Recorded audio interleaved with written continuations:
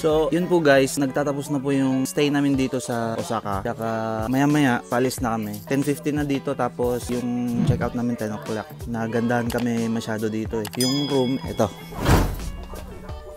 Ito yung room.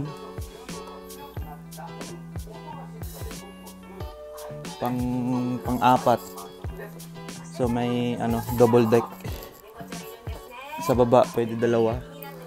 Tsaka meron pa ditong extra isa. Yan. Tsaka kumpleto na po yung room, may TV na. Kasi parang ano na talaga to eh, parang bahay. Tsaka may ano dito, mga vacuum, may plancha pa. Tsaka check natin dito. Ito yung ano niya, yung mini kitchen. May gamit na, may baso na, may induction, may ref. Yan, ito yung ref, liit lang. Tsaka may heater na siya, may microwave din. So, kumpleto na dito. Saka ito pa yung maganda sa room na to kasi may parang mini dining area. Yan. Ganda pa ng design. Yan po. Hmm. So, punta tayo dito sa toilet area. Ito yung maganda sa apartment kasi may ito yung ano niya, shower na may bathtub. Mahilig yung hapon sa bathtub. Yan. Tsaka dito din, libre na din yung ano, shampoo, conditioner, tsaka body soap. Meron ding washing machine. Gusto nyo maglaba. May ano din, uh, blower din dito. Yan.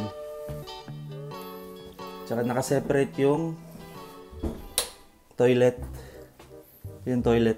Yan. So, ganun pa rin yung toilet niya. Panghapon pa rin. May nag spray sa pet mo. Yan. Tsaka yung kagandahan dito ng toilet na to, pag ini-flush mo, may gripo. Didiretso siya sa loob, tsaka yan yung ipa-flush mo ulit sa susunod kung paggamit. Now you know.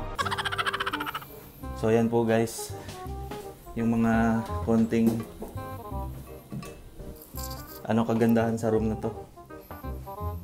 Siguradong mamimiss namin to dito.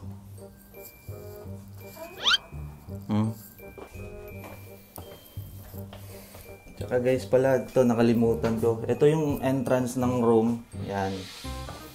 Yan o. Oh. Ito yung lagayan dito ng mga sapatos. Dito din ata. Hindi ko alam anong ano dito. So dito, parang bahay na talaga siya ng hapon kasi hindi mo na pwedeng ipasok yung sapatos mo. Kailangan hubarin mo na dito. Hmm. Wala na, palis na tayo eh. Hmm. May tubig pa dito. Yan. So yan po yung room na nakuha namin dito sa Osaka. So guys, alis na po kami.